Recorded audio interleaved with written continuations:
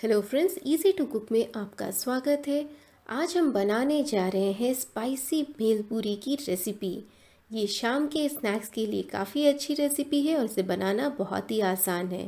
तो चलिए सबसे पहले देख लेते हैं इसके लिए इंग्रेडिएंट्स यहाँ पर हम ले रहे हैं लगभग दो कप ये मूरी या फिर मुरमुरा। इसके साथ ही हम लेंगे यहाँ पे चना जिसे हमने सोख करके चार सीटी पे उबाल के रखा है। इसके साथ ही हम ले रहे हैं फरसान, यानी कि मिक्सचर ये धनिया पत्ता, पुदीना पत्ता, टमाटर, नींबू, प्याज ग्रीन चिली और इसके साथ ही खीरा। तो बस इतने इंग्रेडिएंट्स के साथ बनाते हैं ये रेसिपी सबसे पहले मुरमुरा में आप डालते हैं ये उबला हुआ चना और इसके साथ ही थोड़ा सा फरसान, यानी कि मिक्सचर अब इन तीनों इंग्रेडिएंट्स को एक बार मिला लें अच्छी तरह से। ये देखिए, यहाँ पर इस तरह से आप मिला लें इसे। अब हम बाकी के इंग्रेडिएंट्स इसमें डाल देंगे। तो बाकी के इंग्रेडिएंट्स में हम इसमें डाल रहे हैं ये खीरा, यानी कि कुकुम्बर। इसके साथ ही हम इसमें डाल देंगे ये प्याज और ये ग्रीन चिली यानी कि हरी मिर्च। टमाटर। और अब इसमें हम डाल देंगे ये धनिया पत्ता और पुदीना पत्ता। पुदीना पत्ता से इसकी टेस्ट काफ़ी फ्रेश और रिफ़्रेशिंग होती है तो इसमें आप पुदीना पत्ता ज़रूर डालें।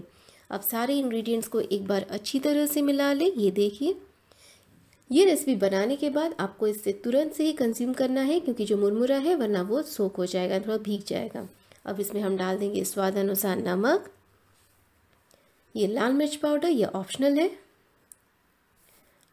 थोड़ा सा मैं यहाँ पे मस्टर्ड ऑयल का इस्तेमाल कर रही हूँ, ये भी ऑप्शनल है। आप कोई भी तेल का इस्तेमाल कर सकते हैं। अब सारे इंग्रेडिएंट्स को एक बार अच्छी तरह से मिला लें। ये देखिए, इस तरह से मैं आपको इसे मिला के दिखाती हूँ। नींबू इसमें आप लास्ट में ही डालें, यानी कि जब आपको ये खाना है, बस उससे पहले ही आप इसमें नींबू डालें। तो बस यहाँ पर ये नींबू हम निचोड़ देते हैं। अगर आपको खट्टा पसंद नहीं है तो आप नींबू को भी स्किप कर सकते हैं, लेकिन नींबू इसमें अच्छी लगती है। तो बस एक बार फाइनली हम इसे मिला देंगे अच्छी तरह से।